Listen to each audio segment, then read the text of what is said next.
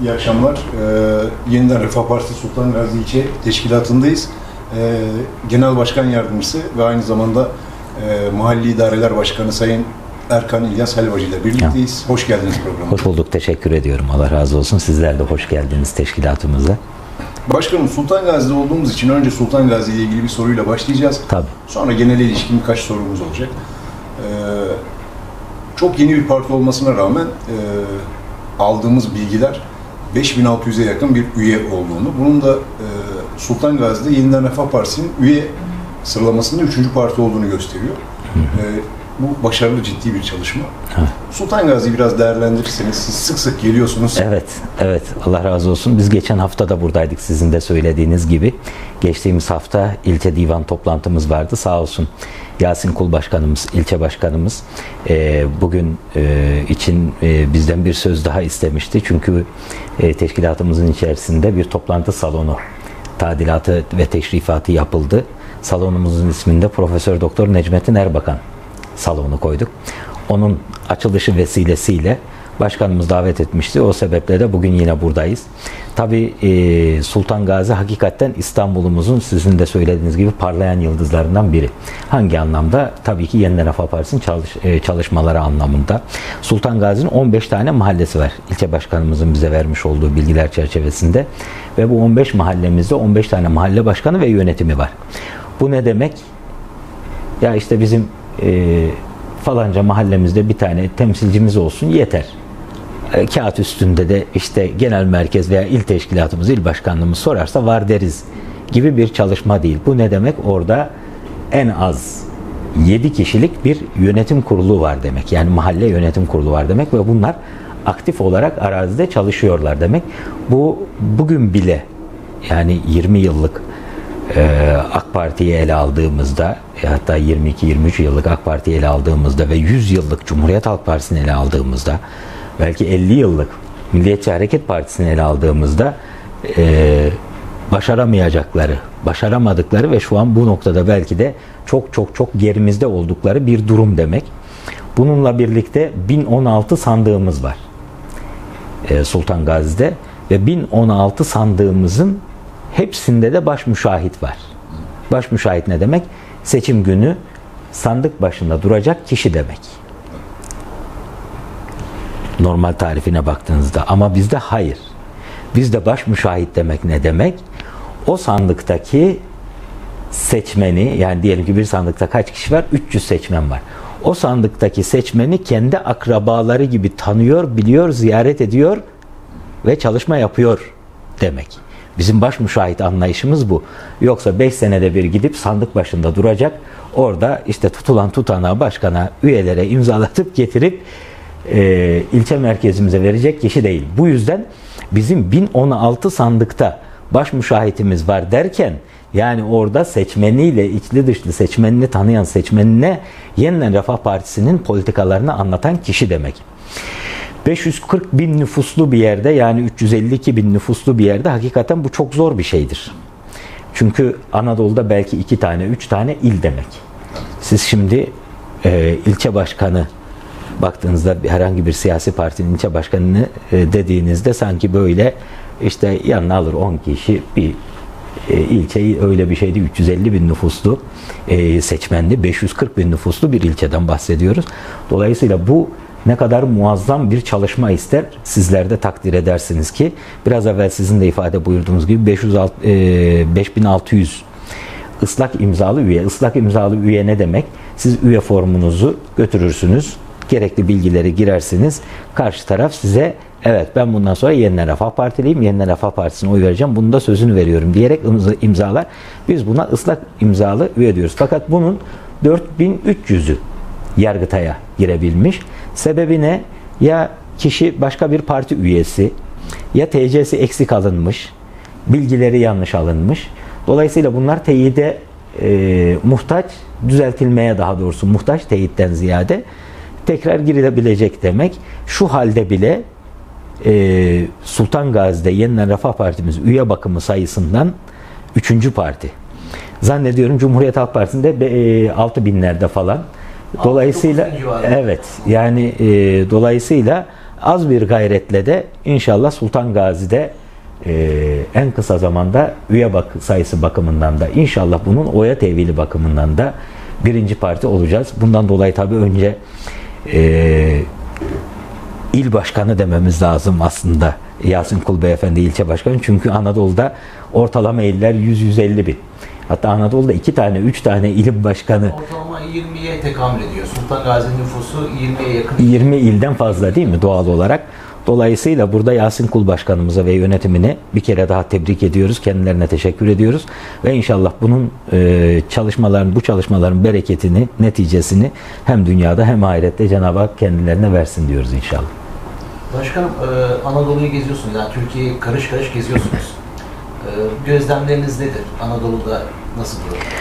Evet, tabii şimdi öncelikle e, bu sorunuza cevap vermeden bizim Anadolu'daki teşkilatlanma durumumuz ne? Şimdi Sultan Gazi... Biraz daha evet genişletelim. Evet. Bir yeniden Refah Partisi Anadolu'da e, teşkilatlanma anlamında ne durumda? İkincisi biz bas- basından sizi takip ediyoruz. Yani hemen hemen Türkiye'nin tamamını gezdiniz Ha, ama son olarak Güneydoğu'daydınız sanırım. Evet. Ee, sahada teveccüh nedir? Yani yeniden Refah Partisi'ne yaklaşım nedir? Ve seçmenin şu andaki e, olası bir seçimle ilgili düşüncesi nedir? Evet.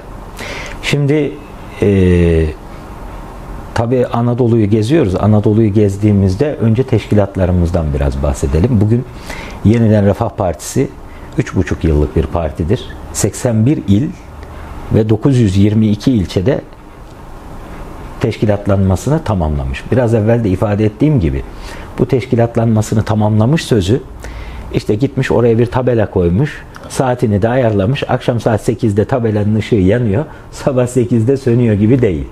Bu ne demek? Ana kademe yönetimiyle, kadın kollarıyla ve gençlik kol- kollarıyla arazide olan, üye çalışması yapan, esnaf ziyareti yapan, ev sohbetleri yapan, kadın kollarımız işte ev ziyaretleri yapan, meydanlarda yeniden Refah Partisi'nin bayrağını en iyi şekilde temsil eden bir teşkilat demek. Parası ve havası bol olan partiler diyor genel başkanımız. Bunlar dahi bugün bunu becerebilmiş değiller ki maddi olarak hiçbir sıkıntıları olmadığı halde. Şimdi bizim çalışma sistemimiz nasıl? Bizde her ilçe kendi kirasını, kendi elektriğini, suyunu, personel giderini kendisi karşılar.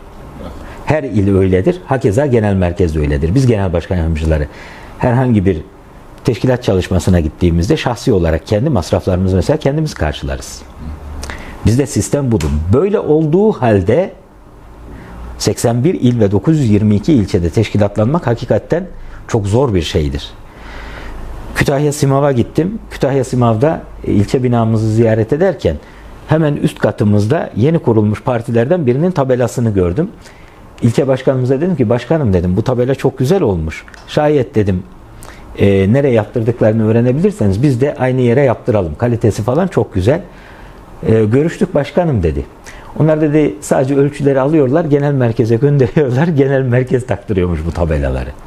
Şimdi ona rağmen sokakta bu insanların bir karşılığı yok. Ama Allah'a şükürler olsun yeniden Refah Partisi bu imkansızlıklara kendi masraflarını kendileri karşılamalarına rağmen muazzam bir destan yazıyorlar ve nereye gidersek gidelim hangi teşkilata, hangi ilin, ilçenin teşkilatına gidersek gidelim karşımızda heyecanlı, diri, dinç Erbakan hocamızın tabiriyle gözleri çakmak çakmak bir teşkilatla karşılaşıyoruz. Bununla birlikte şu an Türkiye genelinde 360 bin civarında ıslak imzalı üyemiz var. Biraz evvel söylemiş olduğum gibi yani vatandaş gelmiş demiş ki evet ben bundan sonra Yeniden Refah Partiliyim. Yeniden Refah Partisi'ne de oy vereceğim demiş. Belgesini, üyelik formunu imzalamış size vermiş. Fakat bizim bugün itibariyle 248 binini sadece e, Yargıtay'a girebildik. Geriye kalan aşağı yukarı 100 bini e, dediğim gibi TC yanlış girilmiş veya bilgileri eksik olmuş veya başka bir parti üyesi vatandaşın kendisinin haberi yok. E-Devleti yok. Girip E-Devlet'ten istifa edemiyor. Dolayısıyla 3,5 yıllık gibi kısa bir zaman içerisinde bu kadar muazzam bir teşkilatı kurmak genel başkanımızda daha çok genç, daha tecrübesiz diyenlere de gençlerin deyimiyle ciddi bir kapak. Yani sizin gençtir, tecrübesizdir, daha ne yapabilir ki dediğiniz bir insan 3,5 yıl içerisinde bu kadar imkansızlıklara engellemelere ve baskılara rağmen böyle bir teşkilat vücuda getirmiş. Peki engellemeler ve baskılar derken neyi kastediyorum? Siz de takdir edersiniz ki Allah sizden razı olsun. Hakikaten yerel basında biz e, gurur duyuyoruz. Çünkü nereye gitsek bizim sesimizi duymayan insanlara duyuruyor. Bunun için de ayrıca teşekkür ediyoruz. Genel Başkanımız ne hikmetse ulusal basında yer alamıyor.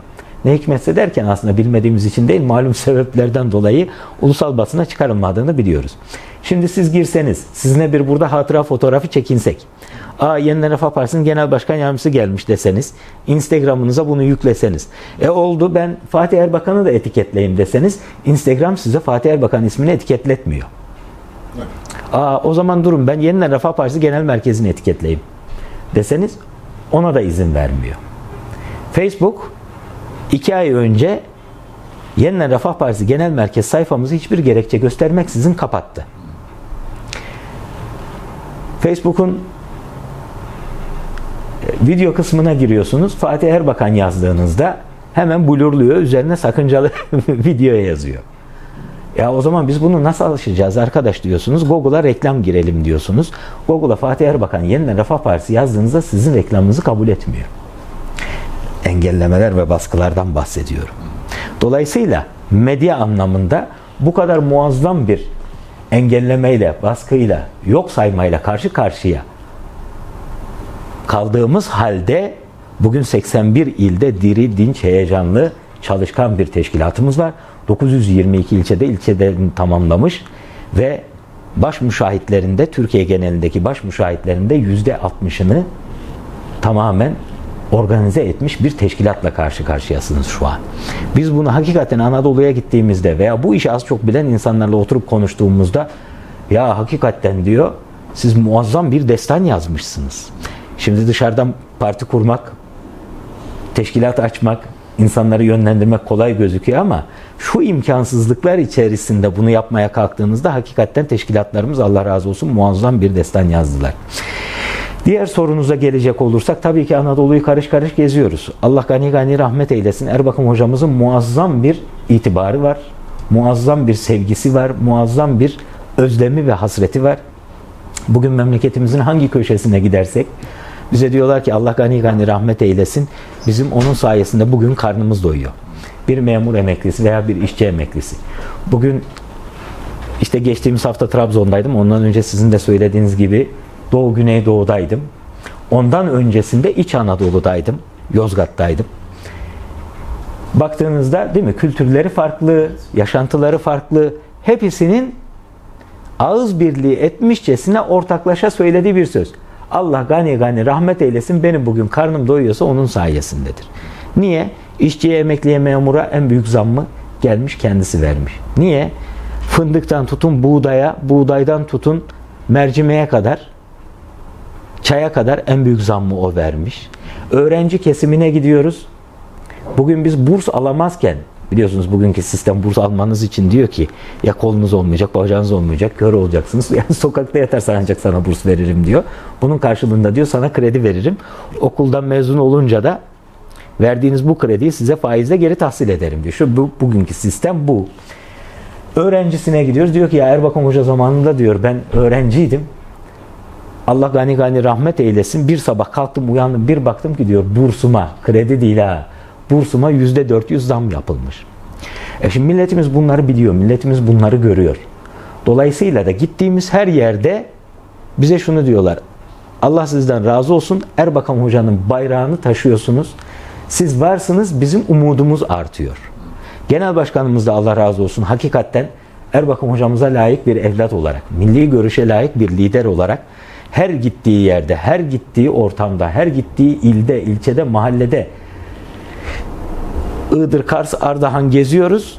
Oradan geçeceğimizi duyan köylüler yolumuzu kesiyorlar. İlla biz Fatih Erbakan'ı göreceğiz diye.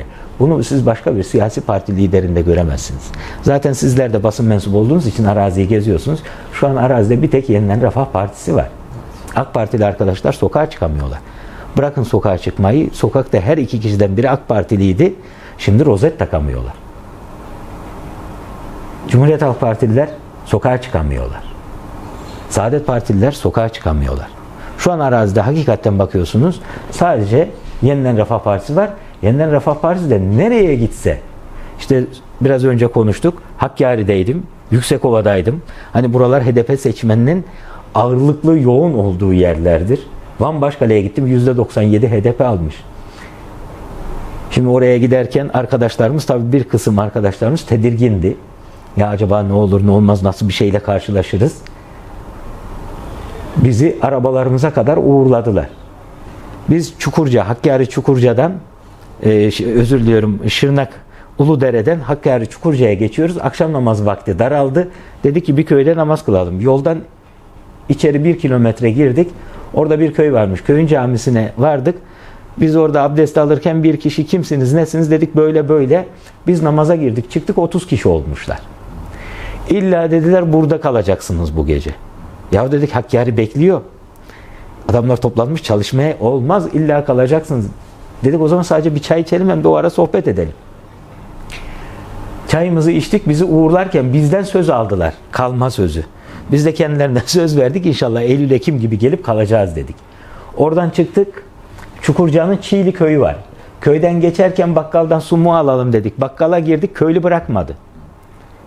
İlla çay içelim. Ya Hakkari bekliyor dedik. Adamlara 9 diye söz vermiş. Saat 10 olmuş. Yani bizim daha bir buçuk saatlik yolumuz var. Varamayız. Yetişemeyiz. Adamlara ayıp olur.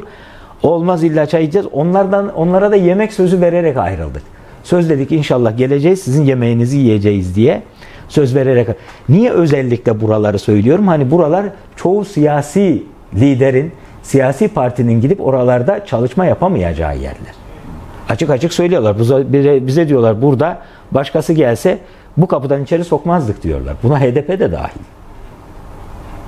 Şu kapıdan diyorlar başkası giremez. Ama siz Fatih Erbakan dediniz. Erbakan Hoca'nın partisi dediniz. Başımızın üstünde yeriniz var diyor. Bu muazzam teveccühü Allah'a şükürler olsun milletimiz şu an genel başkanımıza ve partimize gösteriyor. Peki niye bu teveccüh var? Öyle ya. Yani Türkiye'nin köklü tek siyasi hareketi siz değilsiniz. Türkiye'nin Türkiye'de başbakanlık yapmış, cumhurbaşkanlığı yapmış tek siyasi liderinin hareketi siz değilsiniz. Doğru mu? Peki niye bu böyle oldu? Hemen kısaca müsaade ederseniz ondan da bahsedeyim. Türkiye'de kardeşin kardeşi vurduğu bir ortam düşünün. 70'li yıllar, 80 ihtilalinden önce. Alevi Sünni davası var, Kürt-Türk davası var, sağcı solcu davası var. Erbakan hocamız 1974'te bu ortamda gelmiş başbakan yardımcısı olmuş. 1699'dan beridir toprak kaybeden bir millete Kıbrıs harekatıyla toprak kazandırmış. Amerika bize ambargo koymuş. O meşhur bana ne Amerika'dan demiş gitmiş incirlik üstünü kapatmış. Hala bugün gazete manşetlerine yön verir o incirlik üstünün kapatılması. Yani bu milletin siz bir şey yapamazsınız. Siz artık o eski şanlı günlerinizi unutun denilen bir zamanda bu millete tekrar evet hayır biz o aziz ve şerefli bir milletiz. Biz istersek tekrar dünyaya adaleti sağlarız. Adaletle hükmederiz özgüvenini getirmiş. Yine aynı ortamda kardeşin kardeşi öldürdüğü bir ortamda 1977'de Erbakan hocamız başbakan yardımcısı olmuş. Ekonomik işleri almış kendisine. Başbakan yardımcısı olarak bağlamış. Ve tam 200 tane fabrikanın temelini atarak 70 tanesinin kurdelasını bizatihi kendisi kesmiş. Şimdi Hakkari Yüksekova'da niye insanlar şu kapıdan başka parti giremez? Eğer siz Erbakan Hocam talebeler olmasaydın sizi de sokmazdık bu kapıdan diyor biliyor musunuz? 1977'de daha Ankara'daki siyasiler belki Yüksekova'nın adını bile bilmezken haritada yerini bile gösteremezken Erbakan hocamız gitmiş et balık kombinesi kurmuş. 1977 yılının Hakkari Yüksekova'sına.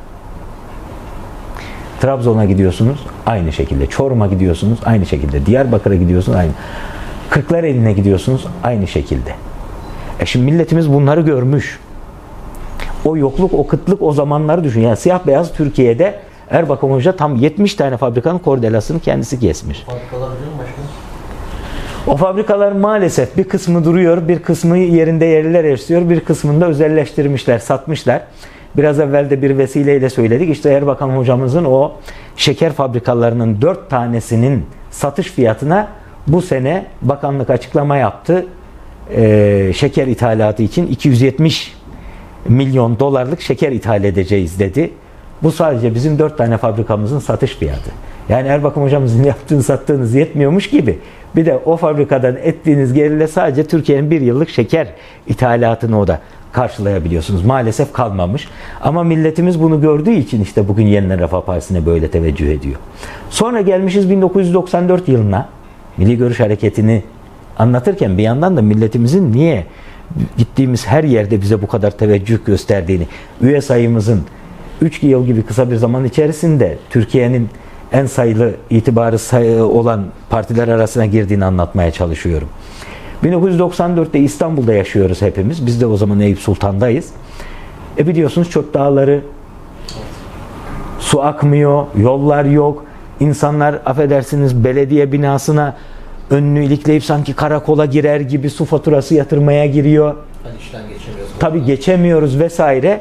1994'te Refah Partimiz gelmiş. Hakikaten sadece İstanbul, Ankara'da değil. Erzurum, Diyarbakır, Maraş, Kayseri, Van, Bingöl, Bitlis, Muş buraları da yaşanabilir şehirler haline getirmiş.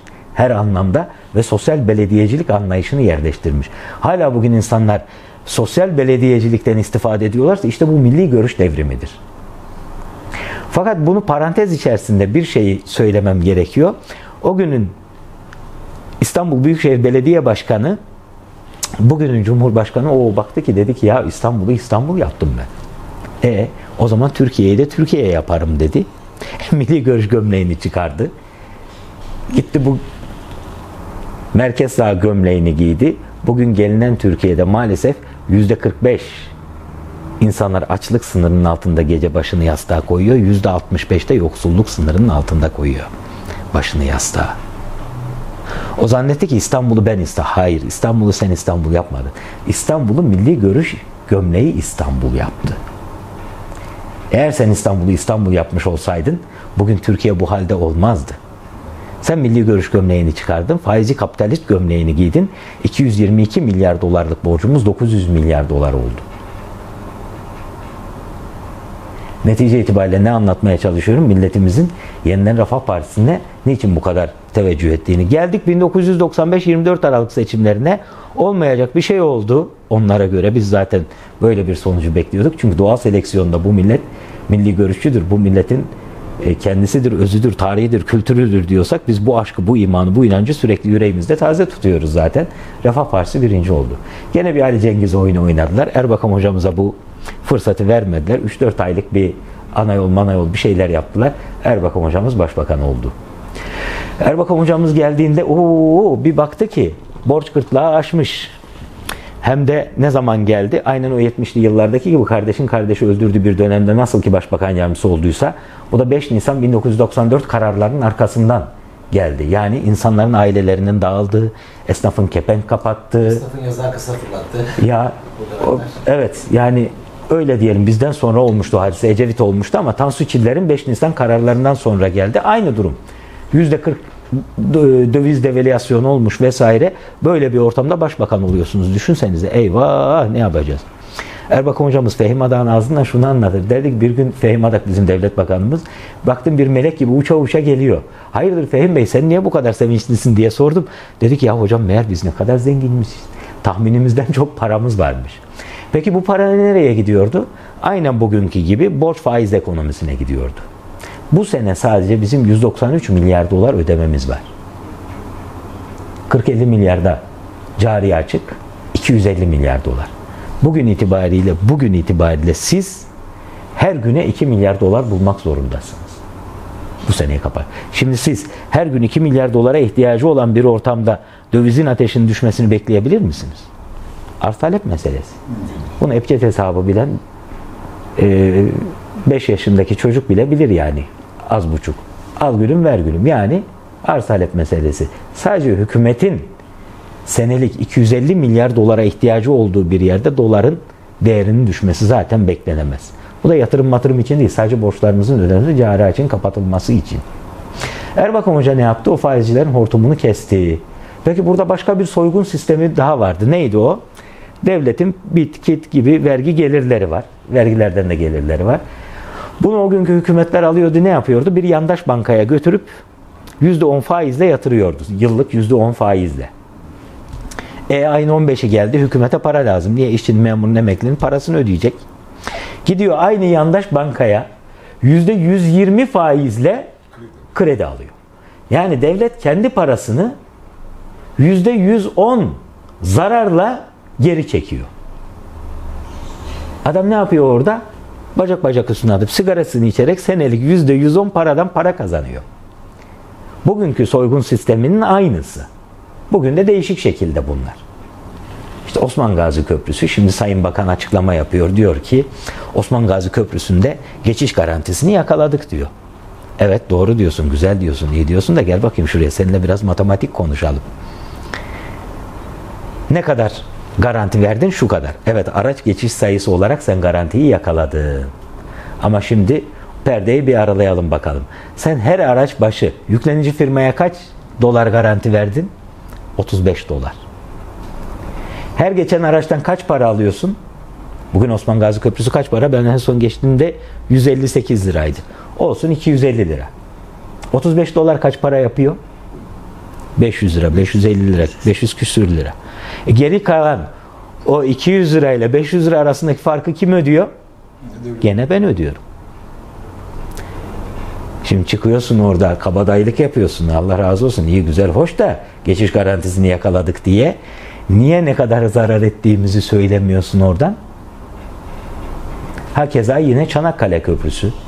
Bu konuda sizin eleştirileriniz de var değil mi? Euro ile geçiş. E tabi onu diyeceğim zaten. Şimdi Çanakkale Köprüsü'ne siz bugüne kadar feribotla geçen sayısı en fazla 400 bin değil mi? 1 milyon 640 bin geçiş garantisi vermişsiniz. Tam 4 katı.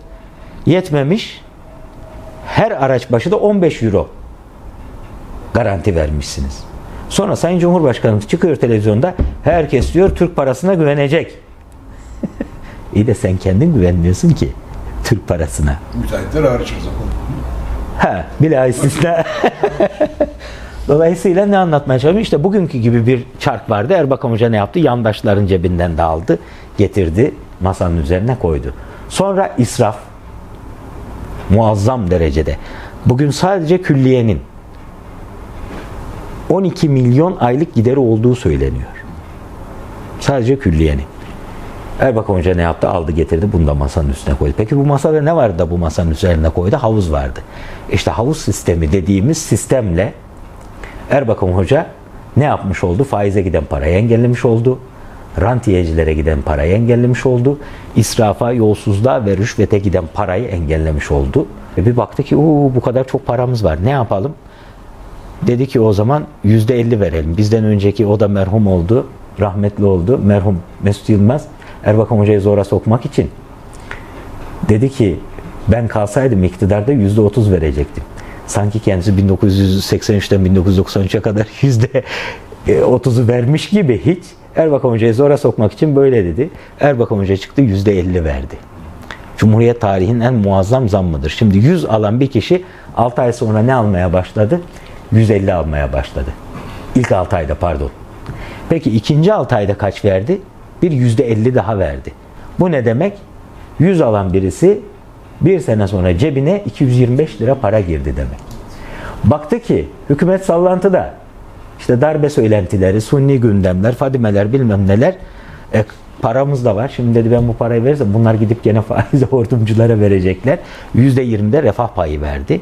Yani Erbakan hocamız hükümetten ayrıldığında 100 alan birisi filmin sonunda 250 alıyordu.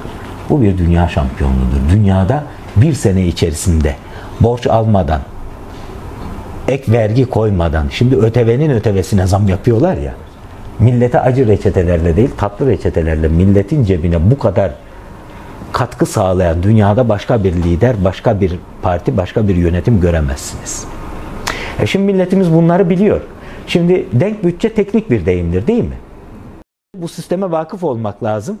Bu sistemi anlatabilecek bir teknik te öyle değilmiş meğerse. Nereye gidersek gidelim vatandaşımız o kadar iyi anlıyor ve anlatıyor ki Erbakan Hoca'nın diyor havuz sistemiyle bu millet diyor faize, israfa, rüşvete giden yolsuzluğu engelledi.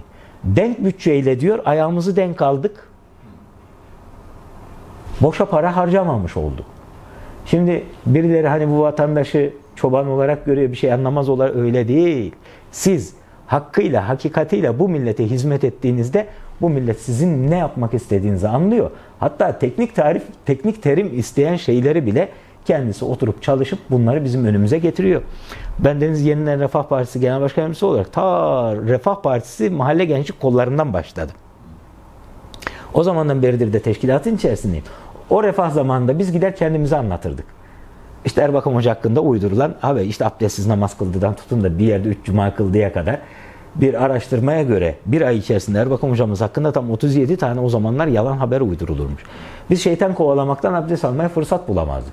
Ama bugün ülkemizin, memleketimizin hangi köşesine gidersek gidelim hiç yorulma başkanım diyor. Başlıyor kendisi anlatmaya. Havuz sistemini anlatıyor, denk bütçeyi anlatıyor, D8'i anlatıyor. Bakın bugün NATO'yu konuşuyoruz. Kaç gündür NATO gündemimizde. Ya bizim gibi bin yıl bu dünyaya adaletle hükmetmiş, yön vermiş bir millet için NATO nedir ya? Böyle bir utanç vesilesi olabilir mi? Yok NATO'ya falancayı almışız da imza atacakmışız. At her şey bizim kimi kandırıyorsun? Bir aydır biz bu imzayı atmayacağız diye bangır bangır bağırıyordun. Ne oldu? Ne oldu yani? E o zaman iyi de siz ne yapın? Bizim işimiz çok kolay. Erbakan hocamız 1997 15 Haziran'da işte 25. yılını kutladık. Çeyrek asır önce gitmiş 8 tane Müslüman ülke bir araya getirmiş. Önce İslam Birliği demiş. Biz bunu sağlayamazsak parça parça, bölük bölçük bir muzaffer elde edemeyiz, başarı elde edemeyiz demiş. Ne yapmış? Ee, İslam ülkelerini temsilen nüfusu 50 milyondan fazla olan o zamanki ülkeleri bir araya getirmiş ve D8 diye bir birlik kurmuş. Şimdi bize düşen ne? Bu D8'i canlandırmak, hareketlendirmek. Bizim D8 için konuşuyorum. Bizim savunma sanayimiz niye olmasın? Bizim ortak para birimimiz niye olmasın? Erbakan hocamız o zaman İslam dinar diye bir dinar göstermişti. Demişti ki bakın hatırlayacaksınız videosu var hala. Şu gösterdiğim var ya 40 tane atom bombasından daha tesirlidir demişti. Bugün anlıyoruz. Hemen size kısaca bir hatıra arz edeyim. Bilgi Üniversitesi'ne Avrupa Birliği'nden bir ekonomist geliyor. Bizim de bir kardeşimiz şu an Eyüp ilçe yönetiminde olan bir kardeşimiz o zaman orada öğrenci. Tabi Avrupa Birliği'nden önemli bir isim gelmiş. Konferans salonu tıklım tıklım dolmuş taşmış. Adam salona bir soru soruyor. Avrupa Birliği'nden gelen misafir. Euro'nun fikir babası kimdir diyor. Şimdi tabi o dünyayı bilenler birkaç isim söylüyorlar. Şu mudur? Hayır diyor. Bu mudur? Hayır. O mudur? Hayır diyorlar. Kimdir size söyleyeyim mi diyor. Necmettin Erbakan'dır. Şimdi herkes hayretler içerisinde kalıyor. Bir de o dönemi düşünün. Yani Erbakan Hoca istenmeyen adam. Tabii en çok da bizim arkadaşımız hayretler içerisinde kalıyor. Acaba nasıl oluyor bu iş diye. Ne zaman ki diyor Necmettin Erbakan çıktı İslam dirağını. Ortak para birimi fikrini ortaya attı. Dedi ki biz bunu niye yapmıyoruz? Böylece diyor herkes işte e, frangından e, işte efendime söyleyeyim markından e, şeyine kadar sterlinine kadar kullanacağımıza hepimizin diyor bir ortak para birimi niye olmasın dedik diyor oturduk. Erbakan Hoca niye yıllar sonra ey aziz millet bir kere de şu siyonizmden önce beni siz anlayın. Siz anlayana kadar onlar önlemini alıyor dediği sözü burada cereyan ediyor işte. Dolayısıyla bizim niye ortak para birimimiz olmasın? Ortak savunma sanayimiz olmasın? Ortak bir ordumuz olmasın? Bu Müslümanlar, şu mazlum insanlar nereye kadar daha ezilecek? Nereye kadar daha kanımız akacak? Nereye kadar daha petrollerimiz sömürülecek, elmaslarımız sömürülecek, yeraltı, yerüstü kaynaklarımız sömürülecek ve bu müstekbirler bize hep tepeden bakacak. İşte tam 45 yıl önce Erbakan hocamız bunları gördüğü için bunları ortaya attı. Ortaya atmakla yetinmedi. Aman kim yaparsa yapsın ben fikrimi söyleyeyim. Bunun için bir ömür harcadı ve Cenab-ı Hak da kendisine 11 ay 20 günlük bir kısa zaman nasip etti. O işte hem söylemiş olduklarının uygulamalarını meydana koydu hem de bize yeni bir dünyanın çekirdeği olan, olarak D8'i koydu. Şimdi ben Sabah beri bu kadar niye konuşuyorum? Neyi anlatmaya çalışıyorum? Sizin sorduğunuz sorunun cevabı. Yeniden Refah Partisi'nin teşkilatlanması nasıl bu kadar muazzam bir hale geldi kısa bir zaman içerisinde ve gittiğiniz yerlerde bu insanlar sizin hakkınızda ne düşünüyor? İşte bizim öyle şanlı bir geçmişimiz var ki sadece şu 50 yıllık süreci bile alsak ya tüh keşke bunu da yapmasaydık diyecek bir şeyimiz yok. Ya işte Erbakan Hoca iyiydi, hoştu da şöyle de şeyi vardı diyecekleri bir şeyi yok. Tam burada bir soru sorabilir miyim? Tabii Çok ki. Estağfurullah. Tabii. Hoca hiç oy vermemiş ama karşılaştığınız oldu mu? Yani Ya. Hoca Hoca ile ilgili fikirleri. Evet, evet, evet. Ee, bu tür arkadaşlarla zaman zaman karşılaşıyoruz. Ee, hatta bir tane e, işte 50'li yaşlarda, bizim yaşlarımızda, bu arada yaşımı da söylemiş oldum az çok. bir arkadaş kim geldi, kim işte yeniden Refah Partiler buradaymış deyince geldi. Dedi ki ya başkanım dedi. Bir şey söyleyeceğim sana, buyur dedim. Ya o kadar içten söyledi ki hakikaten boğazım düğümlendi. Dedi ki ya kimlere kimlere oy vermişiz. Vallahi billahi dedi. Erbakan Hoca deyince tek pişmanlığım. Ulan ben bu adama nasıl oy vermemişim dedi ya. Ama bunu o kadar içten, o kadar samimi söyledi ki. Yani adam ağlamakla oldu. Benim de şuram düğümlendi. Adamcağıza hiçbir şey de diyemedim. Tabii işte illa her yerde olduğu gibi Allah razı olsun nereye gitsek bir çayımızı kahvemizi çay içerken e, dedi ki ben dedi yeniden Refah Partisi'ne üye olacağım ve ne istiyorsanız da maddi manevi size yardımcı olacağım. Niye? Biz de Erbakan Hoca'yı anlamamışız. Bugün de dedi Fatih Erbakan hakkında işte bu aşı meselesi, erken evlilik mağdurları, işte Paris İklim Anlaşması, İstanbul Sözleşmesi gibi çok üstüne geliyorlar. Ben dedi Fatih Erbakan'ın yanında yer alacağım. Çünkü dedi inanıyorum ki bu da babasının yolundadır. Bugün onu anlamayan insanlar yarın da dedi Fatih Erbakan için aynı şeyleri söyleyecekler. O gün hiç değilse diyeceğim ki "Ama babasına oy verememiştim ama Fatih Erbakan'a oy verdim diyecektir. E, diyeceğim inşallah diye bu tür arkadaşlarla da karşılaşıyoruz. Tabi arazi çok mümbit, çok bereketli elhamdülillah. İşte biraz önce söylediğim gibi e, köyüne kadar gittiğinizde insanlar sizi bırakmıyor. Ağrı'ya gittik. Ee, Iğdır'dan, Kars'tan geçtik. Ee, 11 buçuk falandı gece. Dedik ki ya yolda geldik, gündüz de çalışma yapmışız. Bir kahve içelim, bir yorgunluk kahvesi. Böyle güzel bir mekan baktık. Çocuklar topluyorlar. Dedik ki ya biz uzaktan geldik. Bir Türk kahvesi içeceğiz eğer, eğer tabii tabii dedi. Biz bir yandan toplarız ama size de arkadaşlarımız yardımcı oturduk. Tabii oranın sahibi bizim dışarıdan geldiğimizi duymuş. Hoş geldiniz, beş gidin. Nereden geldiniz? İşte anlattık durumu falan. Adam konuşma içerisinde tam dört kere, hani bir kere usulen söylenir ama tam dört kere Allah rızası için gelin bu gece evimizde kalın.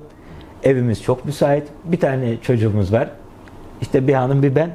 Evimizde işte e, çok geniş. Allah rızası için bu gece benim evimde. Artık mecburen yalan söylemek zorunda kaldık. Biz otelden yerimizi ayırttık diye. Bu miras çok büyük bir miras. Düşünün dışarıdan gelmiş in misin cin misin kimsin belli değil. Ama yeniden Refah Partisi deyince, Fatih Erbakan deyince, Profesör Necmettin Erbakan'ın talebeleriyiz, evlatlarıyız, onun oğluyla birlikte yol alıyoruz deyince sizi hiç tanımayan, ilk defa gören insan bile illa evimde misafir edeyim diyor. Tabii bu çok büyük bir güven. Bu güvene layık olmak hem büyük bir sorumluluk hem de çok çalışmayı gerektiriyor. Nasıl bir sorumluluk? Ee, maalesef ki bugün işte e, sokakta da duyuyorsunuzdur. Ya bunlar da işte milli görüşçüyüz diyerek geldiler. Bunlar da Erbakan Hoca'nın talebeleriyiz diyerek geldiler ama bak bugün işte şu şu şu şu, şu yolsuzluklar, rüşvet bir sürü iddialar var tabii. Ee, ya siz de böyle olursanız diye insanların bir tedirginliği var bu noktada. Bizim milli görüşçüler olarak öyle olmayacağımızı net olarak ortaya koymamız büyük bir sorumluluk. Dolayısıyla bizim e, herhangi bir mahalle başkanımızın, herhangi bir ilçe başkanımızın, il başkanımızın, genel başkan yardımcımızın e, çok emin insanlardan seçilmesi gerekiyor ve Allah'a şükür öyle. Hatta bir ile gitmiştik. Bir il başkanımız için e, esnaf dedi ki başkanım dedi siz bu ile gelseydiniz anket yapsaydınız ya biz bu ilde kimi il başkanı yapalım ancak dedi öyle bulurdunuz bu il başkanını maşallah dedi şehrin en güzel en ahlaklı en kaliteli en edepli en itibarlı ismini bulmuşsunuz dedi. Bugün Sultan Gazi'de de aynısını yaşıyoruz. Sultan Gazi'de yaptığımız esnaf ziyaretinde bize aynı şeyleri söylüyorlar. İşte ilçe başkanımız için olsun, yönetim kurulu üyesi arkadaşlarımız için olsun, mahalle başkanlarımız için olsun. Diyorlar ki Sultan Gazi'de anket yaptırmış olsaydınız burada kimi ilçe başkanı yapalım, Milli Görüş Partisi'nin ilçe başkanı yapalım, diğerlerini çok umursamıyoruz zaten diyorlar. Biz size zaten Yasin Kul ismini ve yanındaki arkadaşları söylerdik. Nasıl ettiniz bulduğunuzda bu arkadaşları burada yaptınız diyor. Dolayısıyla bu böyle bir sorumluluğu var ve siz 85 yaşında hastane odasında ömrünün son demlerinde seçim çalışmasını yakinen takip eden oradaki hemşireleri toplayıp bizim seçim politikamız ne olmalı, seçim sloganlarımız ne olmalı diye anket yapan bir liderin yolundan gidiyoruz diyorsanız onun hastane odasındaki o aşkı, o heyecanı, o inancı, o şevki yüreğinizde taşımanız ve asla durmamanız gerekiyor. Dolayısıyla bu büyük bir sorumluluk, büyük bir şeref ayrıca. E, bu teveccühe de inşallah Cenab-ı Hak bizleri nail eyler, bizleri layık eyler. E, milletimizin hakikaten bugünkü bu ekonomik sıkıntıda, tabii işin bir de o boyutu var. Biz bu kadar sayıyoruz ediyoruz. Milletimiz sadece bunlar bildiği için değil, maalesef ki şu an içinde bulunmuş olduğu ekonomik sıkıntılardan dolayı da bu saydığım sebepleri görerek yeniden Refah Partisi'mize teveccüh ediyor. Yani Türkiye'nin zor zamanlarında e, hep hocanın Ya evet. e, ortaya Bir çıkış yolu. Evet. Sanırım bu da ona e, şey yapacak, tesadüf edecek. evet. E, sormak istediğim şey var. Program uzadı biraz. Öyle mi? Eyvah eyvah. E, Şimdi biz Erbakan Hoca'nın hakikaten her anlamda talebesiyiz o zaman. Bu onun bir e, numunesi olmuş oluyor. Zira Erbakan Hocamızın lise yıllığı, üniversite yıllığında şey yazarmış. Necmettin Erbakan sofudur, dindardır diye. Arkasından diyor ki kendisine civatayı sorsanız size demir filizlerinin naklinden başlar anlatmaya namaz vakti gelir ve sonunu dinleyemezsiniz diye. Erbakan hocamız da kendisine bir soru sorulduğunda temelden alır, getirirdi. Ee, inşallah o da bize sadece bu e, özelliği geçmemiştir. Bütün her şeyle inşallah onun bu özelliklerine sahip olmuştur. Estağfurullah. Çok sorular vardı ama inşallah bir dahaki ziyaretinizde. İnşallah, inşallah. çok kısa bitirirken bir şey soracağım. E, kendi imkanlarımızla çalışıyoruz Hı dediniz. hı, evet. İktidar olduğunda da Yeniden Refah Partisi devam edecek mi? Tabii yani e, genel başkanımızın en büyük taahhütlerinden biri de odur. Maalesef ki bugün bir bakan yardımcısı 5 yerden 310 bin lira maaş alıyor. Medyaya da yansıdı bu biliyorsunuz. E, bu hem etik değil hem kul hakkı hem de e, yani hiçbir izanı anlayışa sığmayacak bir hareket. Genel başkanımızın ve genel merkezimizin, il başkanlarımızın, ilçe başkanlarımızın ortak olarak kanaati söylediği ve e, yapılması gerekeni bu. Bizde herkes yaptığı işin hakkını alacak. Kesinlikle ve kesinlikle hatta genel başkanımız diyor ya Efendimiz Aleyhisselatü Vesselam e, bunları yapan kızın Fatıma da olsa cezasını mutlaka verirdim. Biz bu ahlakla, bu anlayışla bir teşkilat kurduk. İnşallah bu ahlakımızı, bu anlayışımızı da bozmadan e, hükümete geldiğimizde e, Türkiye'yi yöneteceğiz. Erbakan hocamızın çok meşhur bir sözü vardır. E, duymayan arkadaşlarımız da buradan bizim vesilemizle duymuş olsun. Nefis terbiyesi yapmayanla devlet yönetilmez dermiş. Niçin? Siz nefis terbiyesi yapmazsanız makamı görür, mevki görür, parayı, serveti, şöhreti, şehveti görünce yamulabilirsiniz. Dolayısıyla yeniden Refah Partimiz yani milli görüşün temel prensiplerinden ilki nedir? Nefis terbiyesini esas almaktır. Dolayısıyla Allah'ın izniyle biz zaten gayrimeşru, gayri hakkımız olmayan bir şey bir geçin. Yani hakkı olan bir şey kendi e, çalışma alanlarımızda dahi hakkaniyet ölçüsünde e, herkes kendi e, imkanlarıyla, kendi maaşlarıyla bu e, hayatını idame ettirecek. Yok ben öyle üç tane vakfın yönetim kurulu üyesi olayım. Bana oradan 30'ar bin lira da gel böyle bir şeye kat yiyen ne genel başkanımız müsaade eder zaten ne de Allah'a şükürler olsun bizim camiamız Erbakan Hoca'nın tabiriyle hakikaten evliyalar topluluğu gibi ne de bizim camiamız böyle bir şeye müsaade eder. Başkanım keyifli bir sohbetti. Eyvallah. Ben teşekkür ediyorum. Teşekkür ederiz. Allah sizden razı olsun. Ee, tekrar e, hoş geldiniz diyorum.